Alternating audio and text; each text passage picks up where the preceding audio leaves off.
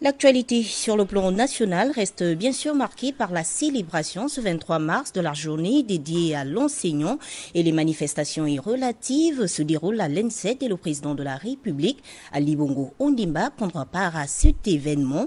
Mais dans ce journal, nous revenons sur cette journée instituée en 2007 par l'UNESCO. Retour sur le contexte à travers cette interview accordée au ministre de l'Éducation nationale, Florentin Moussavou.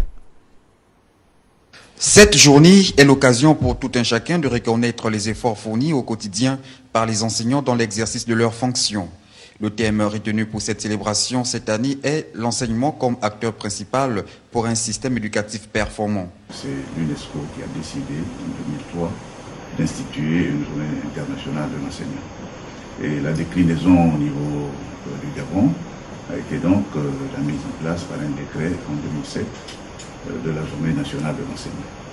Euh, certes, euh, pendant quelques années, il y a eu quelques difficultés à s'entendre sur une date, mais cette année-ci, nous avons réussi à nous mettre d'accord avec les différents acteurs du système éducatif gabonais, de manière à instituer de manière, de clairement la date du 23 mars.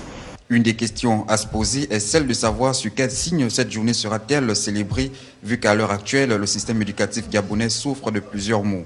Chaque fois que l'année scolaire est ponctuée par des mouvements de grève, il est entrepris des efforts hein, pour euh, rattraper autant que possible les heures perdues par les élèves.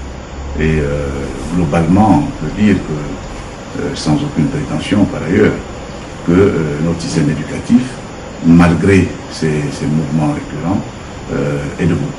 Et notre école, euh, l'école publique, l'école euh, de la République, est en marche.